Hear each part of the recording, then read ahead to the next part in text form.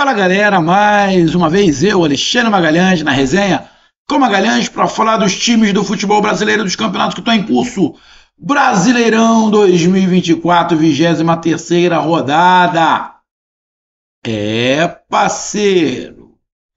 O Nordeste, representado pelo tricolor cearense, assume a liderança do Brasileirão 2024 na vigésima terceira rodada. O Fortaleza ali vai terminar este sabadão, dia 17 de agosto de 2024, na liderança do Campeonato Brasileiro. Obviamente vai ter que dar uma secada ali no Botafogo, mas o Fortaleza assume a liderança. A bronca agora é do Botafogo.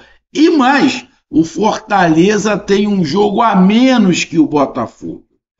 Lion enfrentou fora de casa o Bragantino, o Bragantino que está na Sul-Americana, exatamente igual ao Fortaleza, o Bragantino que tem que reverter uma situação com o Corinthians, porque perdeu em casa para o Corinthians, e o Bragantino perde de novo, agora para o Fortaleza.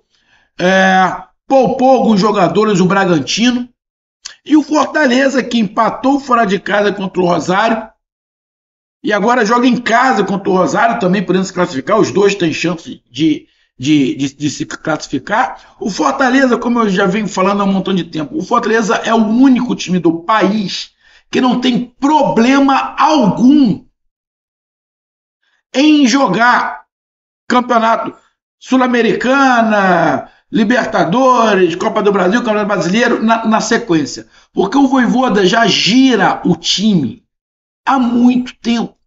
Então o elenco inteiro está acostumado, além da torcida. Então, isso que o Voivoda faz, se ele tivesse tempo, uma hora ia ser vantagem em relação a todo mundo. E essa hora chegou. Esse movimento, essa forma do Voivoda enxergar o futebol, nesse momento leva vantagem contra qualquer time qualquer time aqui do Brasil. Porque o Voivoda tem 20, 21 reservas e 20, 21 titulares. Eu estou falando assim o número por alto, eu não sei qual é a quantidade do, do, do elenco de Fortaleza. Mas tem, porque todo mundo gira.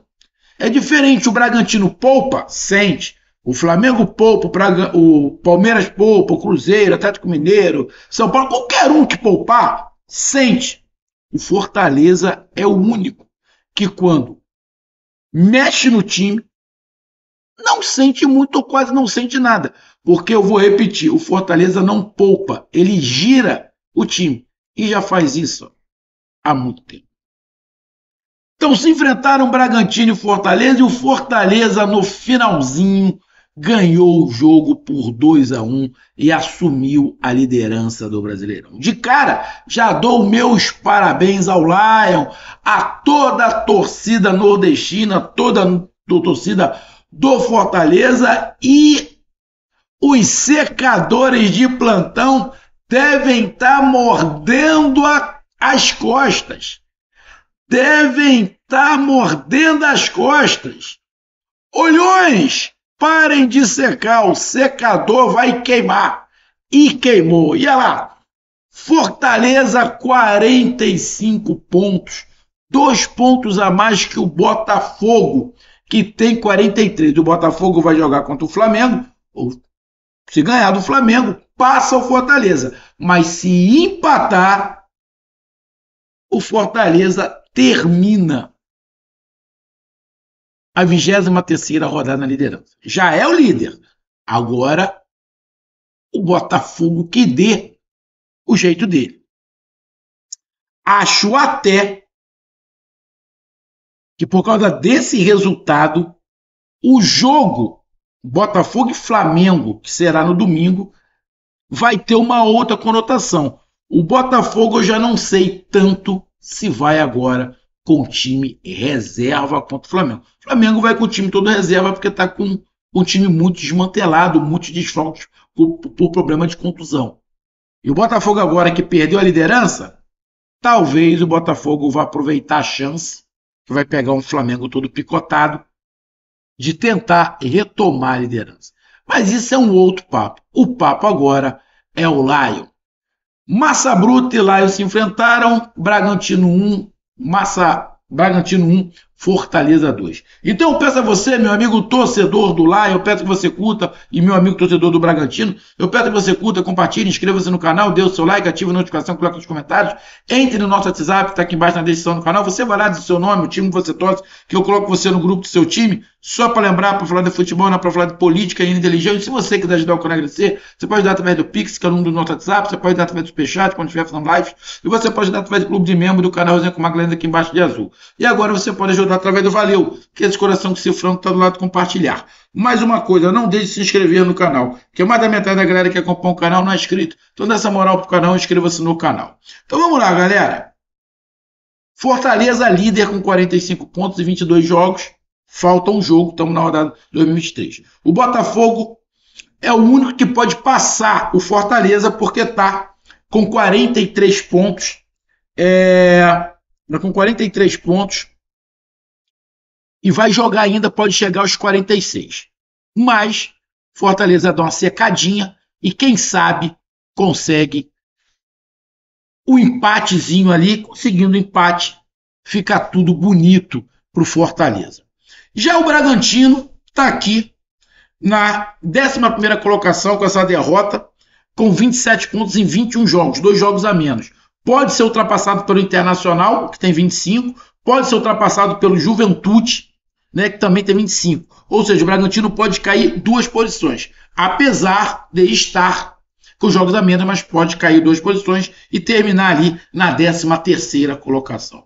E aí a gente vai aqui para o jogo. Bom, o jogo foi o seguinte: 20, 25 minutos, pressão só deu Fortaleza, gol anulado, batendo em cima, sufocando. É, até que o jogador do Bragantino dá um mole. Sem dar mole, já estava tomando sufoco, deu mole. Fortaleza foi lá fez um gol. 1 a 0. A partir daí, o Fortaleza deu uma caída, o Bragantino melhorou, começou a criar oportunidades, começou a chutar e conseguiu o pênalti, bateu o pênalti, empatou o jogo. Ou seja, primeiro tempo, 60%, 70% de domínio do Fortaleza muita pressão, muita intensidade, muita velocidade é, e conseguiu 1 a 0. Mas depois deu uma caída. Deu uma caída, diminuiu o ritmo. Eu acho que tentou jogar no contra-ataque, até porque tem jogo decisivo contra o Rosário pela Sul-Americana. E aí foi o Bragantino que resolveu acelerar. Acelerou e conseguiu o pênalti. Cara, eu fiquei em dúvida no pênalti, que eu não sei se o toque no pênalti foi para derrubar. Mas o juiz estava muito perto, não teve nem VAR. Eu fiquei em dúvida do pênalti, se foi pênalti ou não. Mas o juiz foi lá, marcou o pênalti do Bragantino e empatou. Vai para o segundo tempo. O Fortaleza deu uma diminuída e o Bragantino foi superior quase que o segundo tempo inteiro. Criou algumas oportunidades, criou chances, teve mais, mais, mais a posse de bola, ficou mais com a bola, criou mais. O Fortaleza deu uma caída muito grande. Acho até que se poupando um pouco, se poupando um pouco em relação é, ao jogo que terá pela Sul-Americana. E o Bragantino, como já tinha perdido para o Corinthians, queria vencer a partida. E como melhorou no segundo tempo, o Bragantino foi para dentro, foi para dentro, foi para dentro, foi para dentro. E o Bragantino estava muito próximo de fazer o segundo. Antes de sair o gol de vitória do Fortaleza, o Bragantino quase que faz o segundo gol de virada, uma jogada por cima, deu um toque por cima, passou pelo goleiro, o zagueiro falou que foi o Tite e tirou. E na sequência tem uma bola rápida, uma bola vertical, o Breno Lopes vai lá e faz o gol. Marcaram impedimento na hora, mas quando chamou o VAR, ficou nítido que não estava em impedimento, 2 a 1 um. Ou seja, primeiro tempo, muito mais do Fortaleza e deu empate. Segundo tempo, o Bragantino foi melhor, não tem como não dizer. Não estou falando que o Fortaleza foi mal, mas o Fortaleza diminuiu muito o ritmo. E o Bragantino cresceu, colocou seus principais jogadores e estava muito próximo o Bragantino de fazer o segundo. Por muito pouco não faz o segundo. Mas aí, um time arrumado, com bola vertical, com muita velocidade,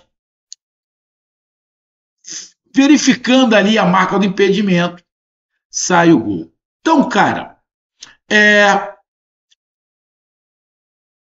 tem como não dizer que não foi merecido? Foi merecido, porque o Fortaleza diminuiu. Obviamente que os dois times estavam pensando na Sul-Americana, mas é, foi um bom jogo, um jogo bem jogado. No primeiro tempo tivemos 15 chutes em direção ao gol, 15 chutes. No segundo tempo diminuiu bastante, diminuiu bastante. O Fortaleza diminuiu seu ritmo, mas marcou bem. O Bragantino melhorou, mas não chutou tanto quanto foi no primeiro tempo. Primeiro tempo o jogo foi muito frenético. No segundo tempo deu uma caída. Essa caída o Bragantino foi, foi melhor. Mas aí, irmão, vence quem faz o gol. E quem fez o gol numa jogada tradicional do Fortaleza foi o Fortaleza, obviamente. E os números dizem o seguinte: o Bragantino deu 13 chutes e o Fortaleza 14. O Bragantino deu 9 chutes em direção ao gol, o Fortaleza 7. O Bragantino teve 62% de posse de bola, é o que eu falei, principalmente no segundo tempo. Dos 30 minutos do primeiro tempo até o final, a posse de bola foi do Bragantino. Precisão no espaço, o Fortaleza errou muito passe, principalmente no segundo tempo, quando o Bragantino foi melhor. É, faltas, 19 Bragantino, 13 para Fortaleza, cartão amarelo, 4 para um lado, 3 para o outro, vermelho nenhum, impedimentos 3 para um lado, 1 para Fortaleza, escanteios 9 para um lado e 2, 9 para Fortaleza, é, 9 para Bragantino e 2 para Fortaleza. Cara, é, os números. É, é, se, termina no primeiro tempo, a gente pega esses números, os números seriam completamente diferentes e talvez os números fossem a favor. Talvez não. Com certeza no primeiro tempo, os números eram a favor do Fortaleza. Só que no segundo tempo, o Fortaleza realmente diminuiu muito o ritmo. Muito. E deu chance, muita chance para o Bragantino. É, mas a gente entende. A gente entende, eu entendo. É, a cabeça do Fortaleza também tá no jogo complicado que vai ser contra o Rosário. Cara, é espetacular. Espetacular. O Bragantino tentou, poderia ter virado o jogo e vencido, mas isso não aconteceu e o Fortaleza, usando toda a sua tática, técnica e tempo de trabalho, no apagar ali antes dos 45, conseguiu fazer o 2 a 1 e garantir a liderança. Foi um jogo tático, técnico, movimentado, na minha opinião, bem jogado, apesar dos dois estarem pensando no meio de semana, mas, irmão, não tem. Se o Bragantino tivesse feito 2 a 1 também seria justo. O Bragantino foi melhor que o Fortaleza no segundo tempo, praticamente quase todo. Se o Bragantino tivesse virado, não seria injusto. Se o Bragantino tivesse vencido, teria sido justo, porque fez por merecer no segundo tempo, mas acabou tomando o gol. E aí? Não conseguiu fazer o gol. Fortaleza se defendeu bem, tem goleiro, tem defesa e conseguiu marcar. Então, cara, é, o Bragantino tentou, não jogou mal, mas o Fortaleza foi mais preciso, apesar, como eu falei, do domínio do Bragantino. Mas isso é futebol. Isso é futebol. O resultado era ruim para Fortaleza? Não. O Bragantino era pior. Mas Fortaleza não. É, é, é, tá ali no bolo, tá brigando, mas a vitória é melhor. O que, que quer dizer ser líder hoje? Bom, Fortaleza para o Nordeste é muito bom. Agora, para o campeonato, o que quer dizer ser líder? E aí, torcedor do Fortaleza, não me leve a mal o que eu vou falar, mas eu não estou falando por causa do Fortaleza. Você pega todos os meus vídeos anteriores. Pega os meus, todos os meus vídeos anteriores.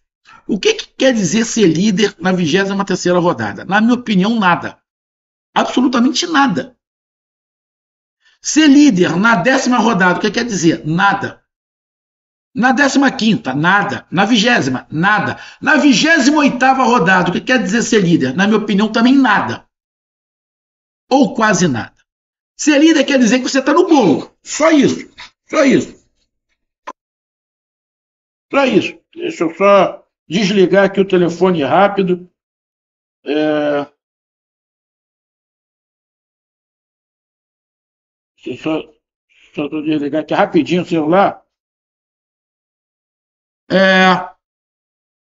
Então, cara, é... não quer dizer quase nada em relação a título. Porém, porém, quer dizer que você está no bolo, você continua no bolo. E isso é, é importante. Ah, se o Fortaleza conseguir manter essa liderança até a 38 rodada, é campeão. Mas hoje é para comemorar, comemorar muito. Mas eu estou falando em relação ao campeonato. Em relação ao campeonato, ser líder na 23 rodada quer dizer muito pouco em relação ao título. Quer dizer que você continua no bolo junto com alguns jogadores e tem uma certa vantagem. Mas isso é muito pouco em relação ao título. Mas, irmão, não estou desmerecendo. É melhor você ser líder do que ser o último colocado. Tá aí a minha análise. Um grande abraço. Até mais. Valeu. Tamo junto. Fui.